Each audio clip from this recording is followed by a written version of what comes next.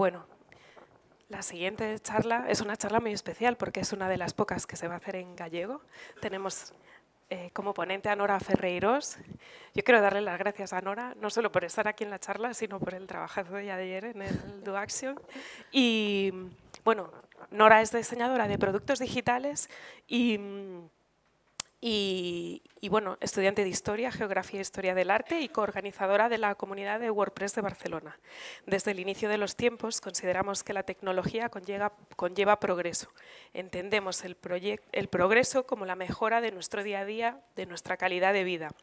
La tecnología nos da muchas cosas que indudablemente hacen nuestra vida mejor.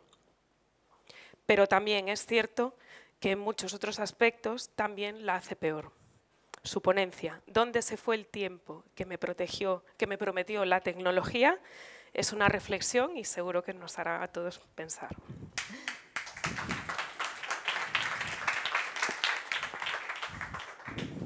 Muchas gracias, Paula. Pois, boas a todo o mundo, especialmente aos que non son desde aquí de Galicia e ainda así, viñechedes a miña charla. Espero que se entenda ben, eu penso que sí, non son unha galega que fala galego moi amigo, así que penso que entenderémonos todos. Así que, bueno, como vos explicaba Paula, eu son Nora, son diseñadora, eh, ainda que son de aquí do lado, son de Vigo, vivo en Barcelona fai uns años, uns anos e por iso estou na comunidade de Barcelona, aínda que non me perdo ningunha daqui de, de Pontevedra se podo eh, organizo as meetups, coorganizo as meetups, tamén vou coorganizar a WordCamp que espero que teñamos en maio 2023, invito vos se queredes vir. E son membro do canal de sostenibilidade, do Slack, da comunidade global de WordPress tamén, vale? Por se non os ubicades, eu sou unha tía que non ten barba, vale? Aquí estou en Valladolid con José Luis eh, con Francés, que eh, hoxe ten tamén unha charla e vos recomendo bastante, non porque vai a falar de min, que tamén, pero porque vai estar moi moi ben.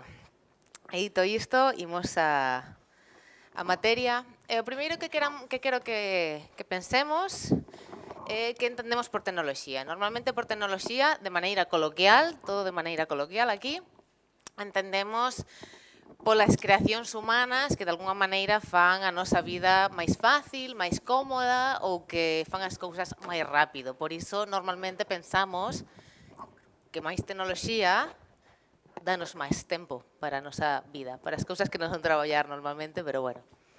Eu quero que vexades esta foto a moitos de vós. Se desde aquí, saberdes o que, son lavandeiras, basicamente mulleres que lavan roupa un regato neste caso, neste caso ensada, moitas das nosas aboas foron estas mulleres. En este caso, pois no momento de lavar a roupa neste tempo, pois prenda, prenda, as sábanas e toda a roupa había que facelas unha a unha a man, vale? Cada cada unha destas mulleres é o que fai. E houve un momento que chegou isto, é un lavarroupas, se non o coñecedes, deberíades, En principio pensades, ostras, toda a roupa que lavaban estas mulleres, todas as mudas da súa familia e a roupa da casa, colles esa mesma roupa, métela aquí, e que temos tempo, moitísimo, claro, porque esta xente estaba unha a unha e agora tes un aparello que o fai só, que non tes que estar ali, e ainda por riba fai rápido, lava mellor, e centrifuga, e seca mellor a roupa. Pero que pasou? Isto foi o que pasou lavamos máis roupa, poñemos máis roupa, multiplicouse a roupa e agora temos que dedicar moitísimo tempo a lavar a roupa. A tecnoloxía permitiu-nos ter máis roupa, basicamente iso que permitiu. Aquí vos poño outro exemplo, sou diseñadora e cando eu estudiei, non fai tanto, pero bueno, había xente que aínda viña do deseño máis tradicional, de facelo en imprenta e facelo a man, e entón había moita xente, non moita, pero bueno, había xente que me dicía, é que eso que facedes agora os diseñadores non é deseñar, Deseñar e tocar, e compoñer a man, e ilustrar a man, e ir á imprenta, e ter que decidir os tipos. Vos, vos esto facedes en un clic e xa está, eso non ten nada de deseñar.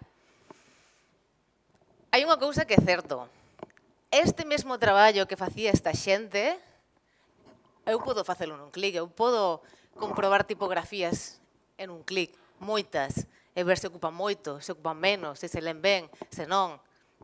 Este traballo é certo, pero claro, este é o meu traballo, traballo hoxe. Non, tedes, non fai falla que vexades o texto, vale? Isto que vedes aquí son uns componentes que creei eu para facer as webs. Con isto, eu só podo facer un formulario. Temos campos e botóns.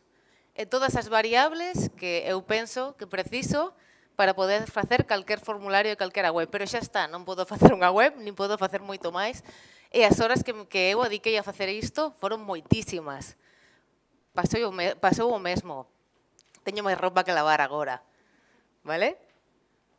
Entón, o que quero que pensedes con estes dous exemplos, pero seguro que tedes moitísimos outros, é que ao final a tecnoloxía o que nos deu é máis traballo, que en certo modo está ben, porque pode ser máis diñeiro, pero en cambio temos menos tempo. Evidentemente, habría que ver os datos, pero en xeral podemos decir que é así. Para afinar un pouco máis esta parte de menos tempo, vou vos dar uns exemplos máis do que facemos aquí, vale? Aquí facemos en xeral webs, hai outras cousas, pero bueno. Entón, quero que viñades comigo facer unha viaxe no tempo a ver que vos parece. As páxinas webs e o tempo.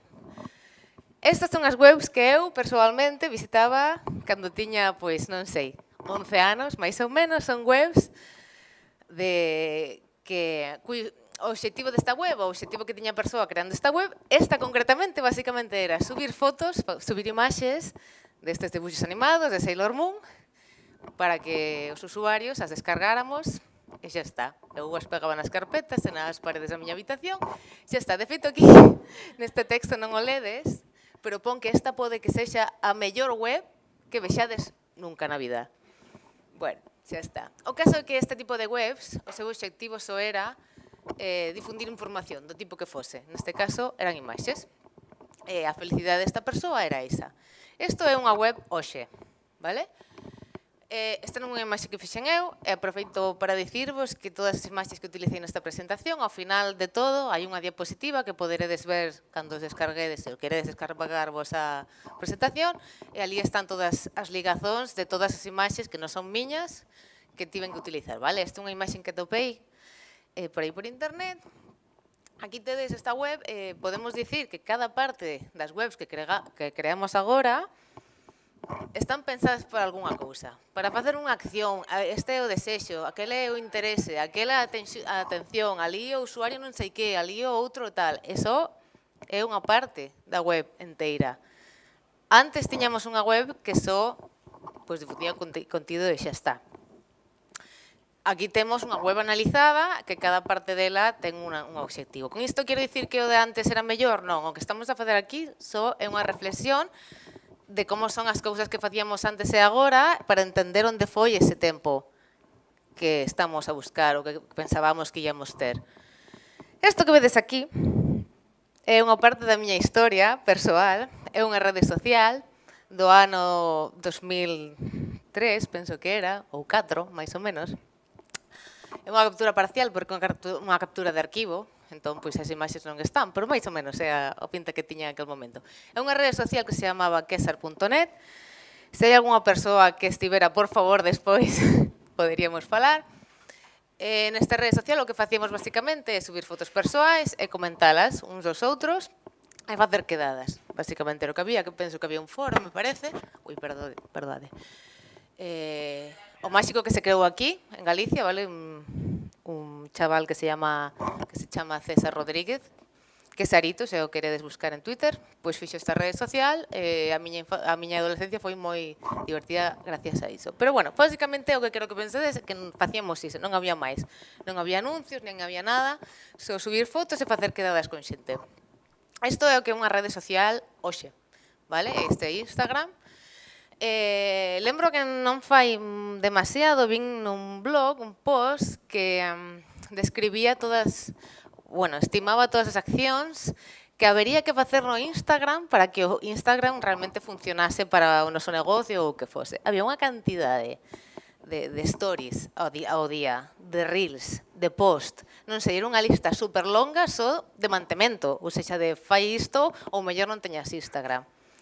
A, antes, eu opino que nesta rede social eu estaba ali para coñecer xente e o que fixen realmente aquí hai un punto de que hai unha coñecemos xente, pero hai unha boa parte de manter a propia rede social, vale? Parte do noso tempo vai aquí.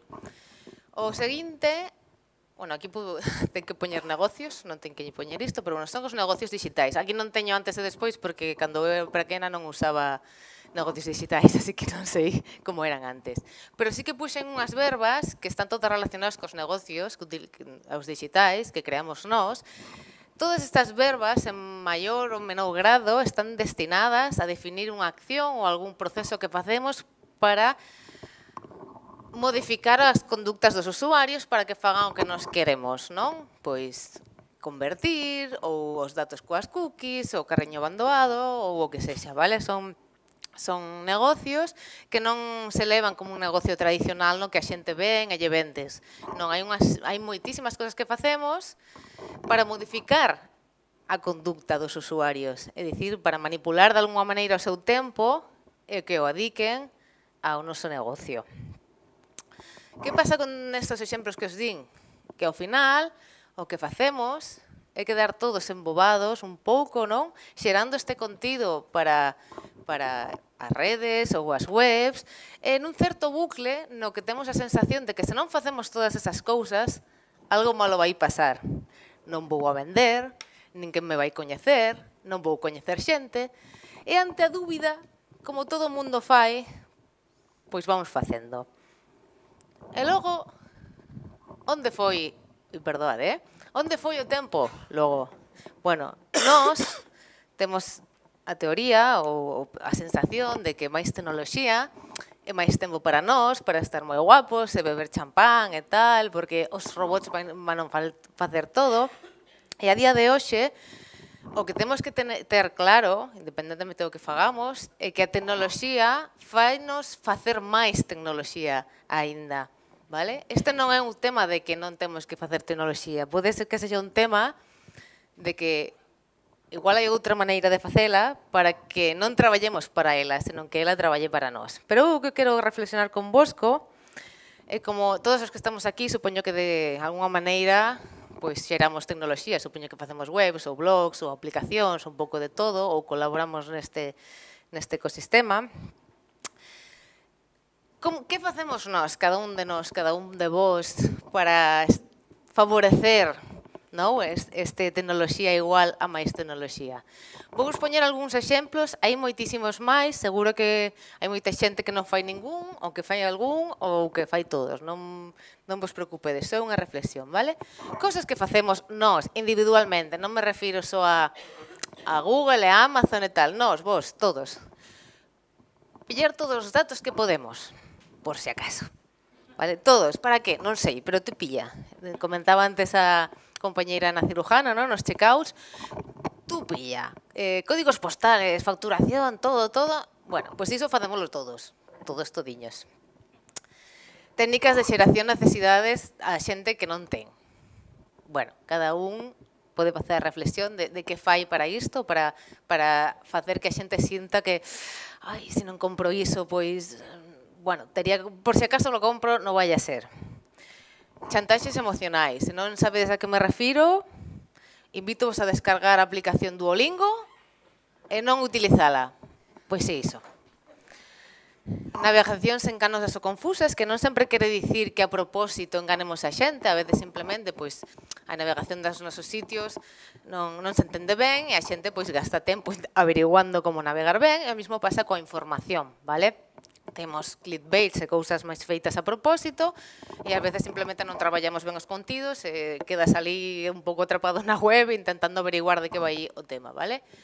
Estrategias, abusan de estrategias en redes sociais, con isto refírome, refírome a cando para, non sei, ter máis clientes ou usuarios, facemos que estén continuamente indo ás redes sociais a sacarse fotos e a a eles facer vida nas redes sociais para de que algunha maneira nos repercuta nos, non? Ao final é o seu tempo o que están gastando para, para o, voso, o voso negocio. Vale, iso é exemplos de cousas que facemos e tal, pero que podemos facer a cambio, non? O mesmo que vos decía antes, eu dou vos catro exemplos ou os que sexan, que se me ocorreron que poden ser interesantes, hai mil, vale? O primeiro, o que Garda sempre ten? Este é un dito que temos nos aquí, é que nunha época da historia foi moi importante, porque era verdade, a xente pois non tiña, e realmente era mellor ter que non. Pero agora, igual, nos estamos a pasar un pouco, vale? A que cousas me refiro? Por exemplo, a maior parte de nós que non temos nin idea de analítica, de SEO e cousas polo estilo, instalamos esta ferramenta e non temos nin idea de como ler o que poña aí a maioría de nós o que queremos é saber canta xente ven o noso blog, non sei, uh, que, po, que páxina funciona mellor ou peor, que dispositivos utiliza a xente, e catro métricas máis, porque, bueno, non somos profesionais disto, non entendemos a ferramenta, pero instalamos igual porque o que se fai. Bueno, neste caso, se a utilizades moitísimo e a base vos do negocio, este slide non é para vos, pero para o resto podedes, hai mil alternativas que non captan tantos datos da xente, eh, que non gastan tantos recursos ou que respetan máis a privacidade. Poños un exemplo eh, random de un, des, un meu compañero Juan Cadier recomendou, recomendou, recomendou este, porque aínda que tedas métricas e son eh, sinxelas, non colle datos privados de, da xente que visita, vale? Pois xa está, a vos non vos falla máis, e non lle quitades os datos privados a xente que non fai falla. Repito, a xente que lle fan falta para o seu negocio o que sexa, non é para vos, pero os demais podemos facer isto tamén. Outra cosa que podemos facer, que deberías, deberíades facer sempre, pero bueno, concretar o público e as súas necesidades. Isto danos un medo increíble, porque dimos, ostras, eu concreto un público, deixo de venderlle a todo o resto da xente. Non, non é así. A xente a que non lle interesa o teu produto, ou en ganas ou non lle vendes o produto porque non lle fai falta ou non o quere. Vale? Exemplo. Este que tedes aquí é o meu amigo Nahuai Badiola, é desarrollador e ten un negocio que se chama Código Génesis, vale? E o que fai aquí é cada día, que penso que cada día, sube tutoriais de cosas técnicas de desarrollo que a mí non me interesa máis mínimo, non sou o seu público, É unha suscripción, vale? E Naguai, pensou, teño que ganar, gañar pasta con isto. Que fago? O que fai todo o mundo. Invertiu en Google Ads, invertiu en Facebook, patrocinou eventos, patrocinou podcast. Non sei onde máis puxo os cartos. O tema é que Naguai é un tío de, de números, porque é científico, e dixo, estou, estou a invertir moitísimo diñeiro, os números non saen tan ben, estou tamén poñendo moito tempo. Em, pasáballe que, por exemplo, a xente que viña de Facebook pagaba un mes, pagaba dous e marchaba. Pensaba, ostras, tanto esforzo, tanto diñeiro para que ao final a xente marche. Que se, deca, que se decatou? Que igual que a mí non me interesa o seu proxecto, porque a min nin Génesis, ni os temas técnicos, pois non os, os deixou de invertir en este sitio e simplemente limeteuse a traballar máis o seu newsletter, eh, el ten un podcast de seu e deuse de conta de que a xente que se quedaba non eran moitos, é dicir, comparado co resto da humanidade, non, non vai ser probablemente Jeff Bezos, pero que era de aí onde lle saía a xente, porque ten un público tan concreto, unhas necesidades tan concretas, que só tiño que, teu que pensar a ese público de onde lle interesaba sacar información e agora pois, gasta moitísimo menos tempo en invertir e o seu negocio continúa. O seguinte, o seguinte exemplo, escoller o bo por riba do fácil. Esta non ten moita volta e normalmente a xente di, sí, iso está moi bien, pero escoller o bo por riba do fácil non dá pasta. Bueno, Eu os poño exemplos, vale? Aquí a primeiro tedes unha empresa daqui de España que igual a coñecedes todos, igual non, e ten unha filosofía moi interesante, invito vos, se non a coñecedes, a ver as súas comunicacións e o que fan ao respecto e sobre todo a comparalas con a comparala con outras empresas do sector, eh, da comunicación neste caso e da enerxía. E logo aquí tedes os ligazóns con empresas Bicorp que lle chaman, que son empresas con ánimo de lucro, que gañan diñeiro, pero decidiron que poden gañar diñeiro facendo cousas que non estropen moito máis o mundo. Tedes moitísimos exemplos, moitísimos niveis de empresas, empresas moi grandes, empresas moi pequenas, empresas de España, empresas de todo o resto do mundo. Realmente se pode, evidentemente, hai que ver como, pero se pode se facer. É unha das mañeiras que tedes. Outra maneira moito máis pequeniña de facer cosas bo, eh, ben por riba de fácil. Isto que vedes aquí é a, o diálogo de inserción dun vídeo en YouTube, vale? Eh, entonces, cando vais, cando vades a, a compartir, insertar este vídeo, tedes esta opción que está aquí remarcada, que pon activar eh, o modo de privacidade aumentada, dependendo do idioma, pois o que sexa. Se o activades, obtedes este código, que non sei se se lee, pero este dominio de aquí o que pon é www.youtube.nocookie.com. O que quere decir é que estades a, a ofrecer o contido, o vídeo, no vosso post ou onde sexa aos vosos usuarios, pero non lle estades a dar os datos privados desa persoa pois a outra empresa para a que vos non traballades. Isto é máis pequeno. A seguinte cosa que os recomendo é máis persoas menos likes. Repito que non quere decir que a tecnoloxía estea mal ou as redes sociales están mal, sino é máis un exercicio de reflexionar e, e balancear. No? E aquí vos quero contar a miña experiencia persoal. Estas son eu, cos ollos pechados, pero a vida é así. Isto é a WordCamp Europe, que foi este ano. Estes dos señores que vedes aquí son Matt Mullenger, Matt Mullenberg, perdón, o cofundador de WordPress, e Josefa Hayden Chomposi, que é a directora executiva de, de WordPress. O que me levou a mí estar aquí nesta pantalla horriblemente fotografiada neste momento foi falar con xente. Nun punto deste ano decidín que as redes sociales estabanme a, por, a poñer neste bucle, coñecía xente en redes sociales, pero o meu negocio pois aí estaba, no? dando voltas, e comecei a preguntar a xente que eu pensaba que lle ia ben como facían eles. E as cousas me levaron a estar aquí diante de non sei cantas persoas, moitas, centos de persoas, preguntándolle a esta xente que se WordPress, dende WordPress oficial, ian facer algo para apoiar a sostenibilidade web. Xa está. Que pasou despois? Despois que esta xente lles pareceu unha boa idea crear un canal de Slack que se chama Sustainability en no Slack oficial de WordPress E unirse persoas que viñeron a falar comigo que me permitiron tomar a decisión de que igual o meu negocio podía ir por este lado. Agora coñecer un montón de xente, estou a facer outras cousas que me, me fan moito máis feliz, pero todo viño, veu, perdón, eu podería haber podería haber feito isto en un tweet. Podería haber dito, hostia, ma, eh, Josefa, que pensades de tal cousa? E que dirían, pues, moi bien, like. Ou fixen isto, Por certo, fixino gracias a Rocío Valdivia, que está por aí, que me dixo, veña muller, pregunta. E as consecuencias son moitísimo máis altas que dar un like ou facer un tweet.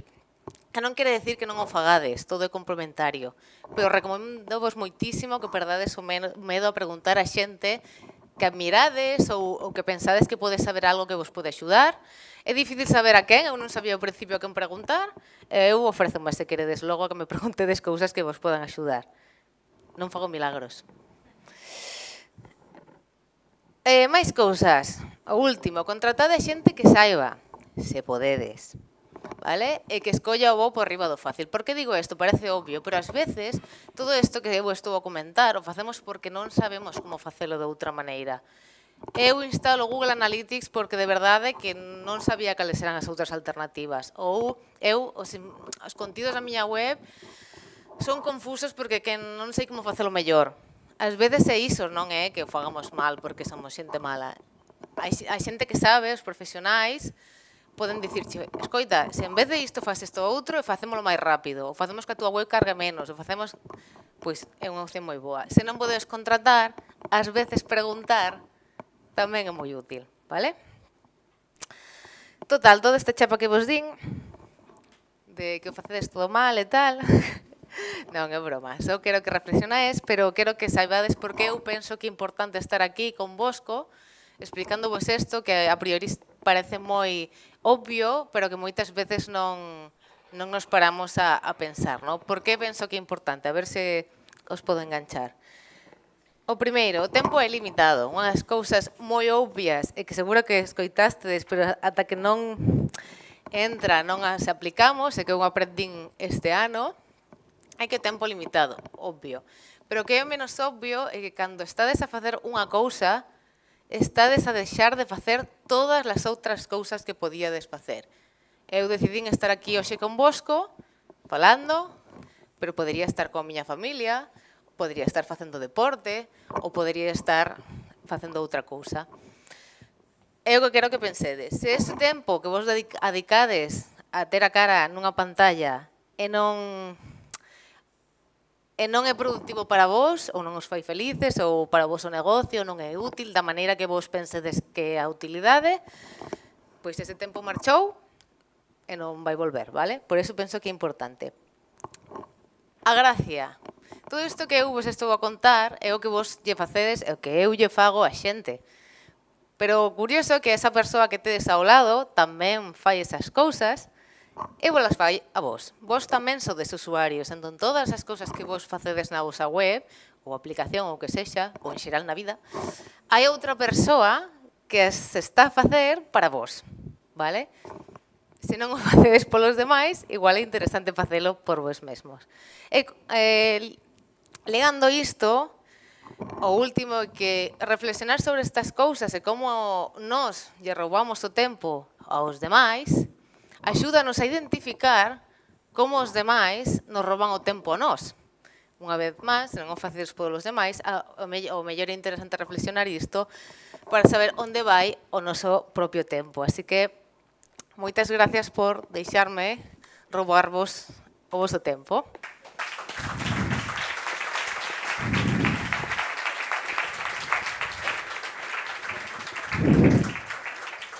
Bueno, tenemos un momentito para hacer alguna pregunta. A mí me gustaría empezar primero por darte las gracias. Yo creo que nos lo has regalado el tiempo, no nos lo has robado.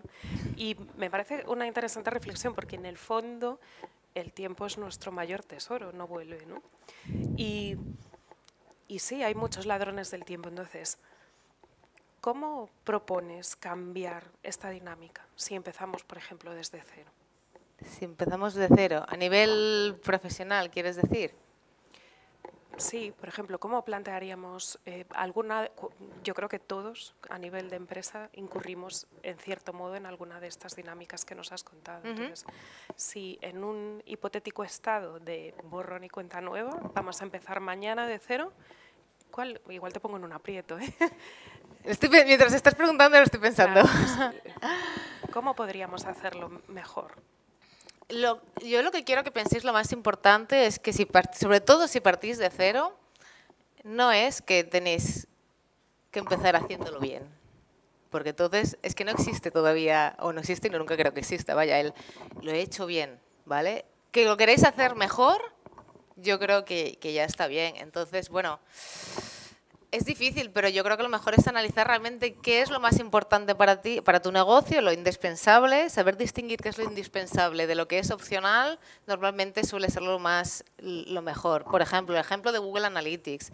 La gente que trabaja con esto y sabe usarlo, evidentemente le es súper útil. ¿Eres tú esa persona? Ostras, pues te vale igual con otras alternativas. Buscar alternativas al final no tienen ningún secreto. Es como, bueno, pues ahora me podéis preguntar a mí porque veis que tengo interés en esto, pero lo mejor es encontrar gente que, que sepáis que tiene interés en esto. Nahuel Badiola es una persona que tiene interés en esto, le podéis preguntar o simplemente buscar. Siempre hay alternativas a todo, entonces pensad que es lo más importante, es que no puedo prescindir de esto, no puedo prescindir de tales datos de las personas. Ok, no pasa nada, úsalos, úsalos para el bien, pero todo lo que no necesitéis, si no necesitáis 50.000 imágenes, pues no las uséis, usad menos o simplemente pensad que es lo más importante. Sé que es un poco abstracto, pero no tengo más tiempo para profundizar. No sé si esto te vale. Pero sobre todo, no os agobiéis. Si lo queréis hacer mejor, simplemente cada día hacedlo un poquitito mejor y ya está. No, no hace falta que empecéis de cero con el producto más ético de la historia. No, eso no existe. Bueno, yo creo que es una invitación a la reflexión, lo cual yo creo que está muy bien para plantearse cómo hacer las cosas de otra manera. A mí me gusta hablar de mapas, ¿no? ¿Qué pasa si planteo un mapa en blanco? Entonces, creo que tú que tu charla en el fondo es una, mm, es una provocación o una invitación a la reflexión. Yo no sé si hay alguien que queráis. Venga, pues bueno. Nora, muchas gracias. Lo primero, muchas gracias por la charla. Eh, has contado que después de la pregunta a Matt Mullenberg, te dedicas, tu negocio ahora está enfocado a, eso precisamente, ¿no? de las webs sostenibles. ¿Nos puedes contar un poco más a qué te dedicas ahora? ¿Cómo estás enfocando tu negocio a eso, por favor? Fantástico, sí, sí. Bueno, lo primero es, estoy en fase de adaptarlo. Estoy ahora unos meses. Si alguien me sigue desde tiempo, veis que hay como una especie de silencio en mis redes sociales. Bueno, porque estoy trabajando en ello. Entonces ahora lo que yo me voy a enfocar es al lo que yo decido llamar, tampoco hay nombres mm, como muy definidos, es diseño responsable y sostenibilidad web. Normalmente la sostenibilidad web es lo más fácil, está más enfocado en, en la parte medioambiental, aunque engloba otras cosas como la accesibilidad. En general se trata de que la web se puede crear y puedes ganar dinero y puedes tener actividades en la web pues estoy siendo de alguna manera implicado socialmente, que no quiere decir diseñar para ONGs, sino quiere decir que cualquier proyecto de cualquier persona, pues eso, lo haces accesible, eh, lo haces que no consuma más recursos de los que necesita, eh, ese tipo de cosas. El diseño responsable, en lo que yo me quiero enfocar, es en esas prácticas que los diseñadores hacemos y otras muchas personas, pero bueno, yo me centro en lo mío, que se basan en utilizar nuestras habilidades como analizadores de usuarios y sus comportamientos para hacer cosas que a nosotros no nos gustaría que hiciéramos, ¿vale? Como os comentaba, engañar o yo sé que si pongo aquí la cosa al usuario va a hacer esto, pero voy a diseñarlo así para que haga otra cosa que el usuario no pensaba que quería hacer, ¿vale? Al final son como buenas prácticas en el diseño y este sería un poco el resumen muy resumido, ¿vale? De lo que es. Entonces, Ahora voy a trabajar a partir de esta eh, perspectiva para clientes que realmente les importan, que no quieren solo una web, sino que quieren que esa web, pues, ellos ganen con ella, pero que los demás no pierdan al menos. Bueno, un tema apasionante, no nos da tiempo para más en la comida. Yo creo que es, podemos continuar y que queremos darte un regalo de parte de todo el equipo. Muchas gracias.